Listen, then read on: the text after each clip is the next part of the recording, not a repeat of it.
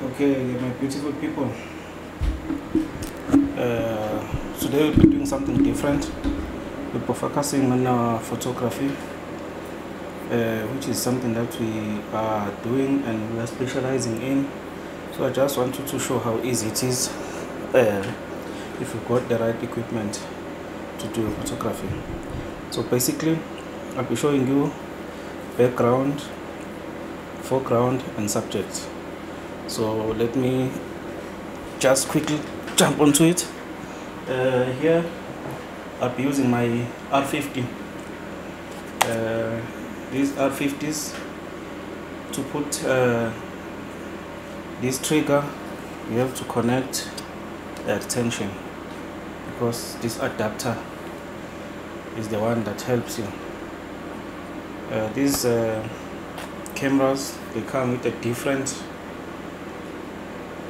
hot uh, that is different from the rest of the cameras. So you have to put this and then you add your you put the adapter and then you can add your your trigger. So this is connected to my speed light. So to take these photos uh, I just need to connect.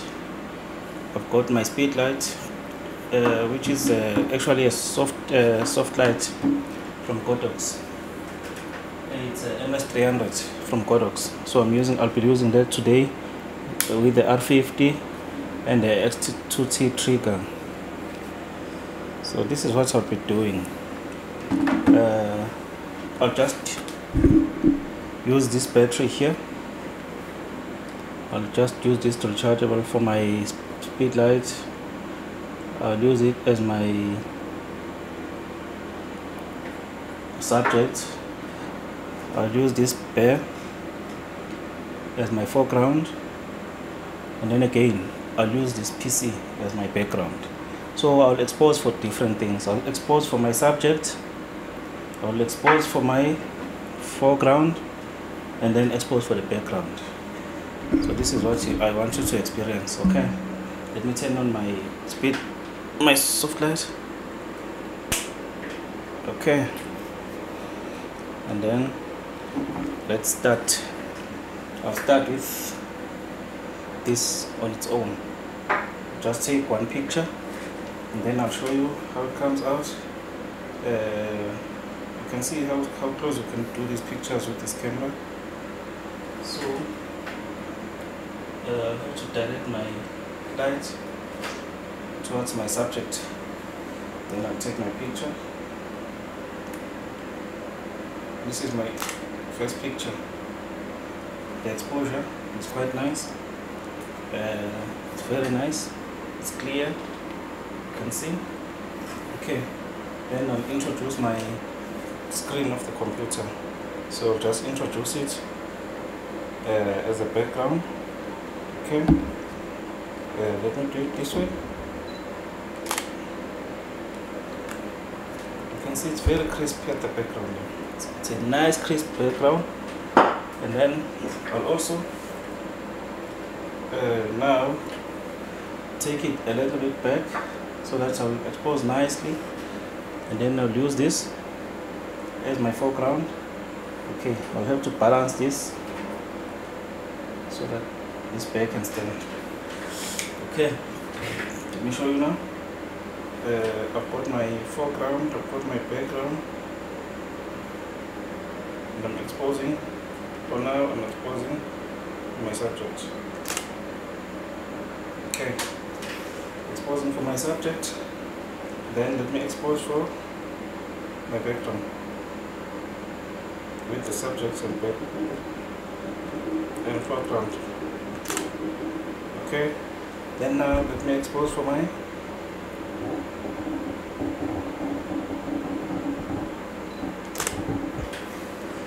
so I've taken these pictures and then uh, you can see the difference.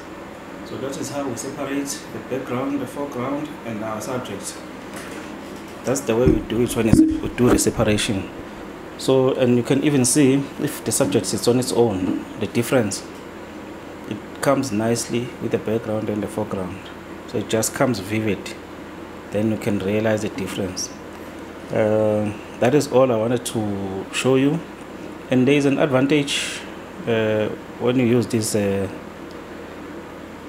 cameras here you can even see when you use the settings there's a lot of different things that you can do with it. And even the shots if you do a continuous shots the difference with this thing the sound it's like it's like you have to dance to it the way it comes out. It's, it's so nice. So low speed continuous. High speed continuous. Let me do this high speed continuous. I'll just do a couple of photos.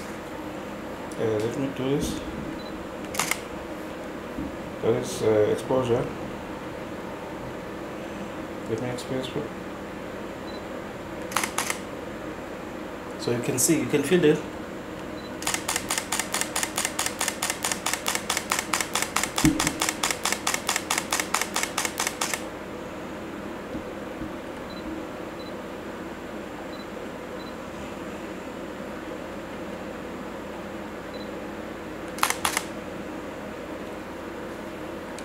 that's how nice it is to use these cameras because you can take many pictures at the same time when you're working with them.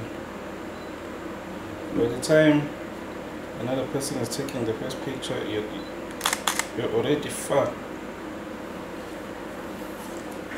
So that is all I wanted to, to show you.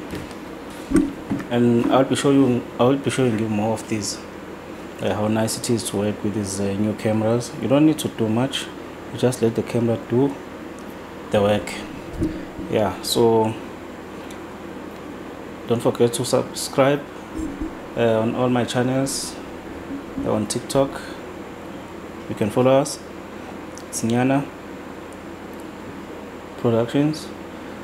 Uh, you can also follow us here on uh, or, or youtube. You can just subscribe and you'll get more. We still have uh, rs4 gimbal we still have uh, another one uh, the osmo that we're also using as we are doing this video we have a 250 camera and we've got this r50 we've got a panasonic. We've got, we've got quite a lot. One day we'll be showing you how to operate the godox ms300 yeah and the rest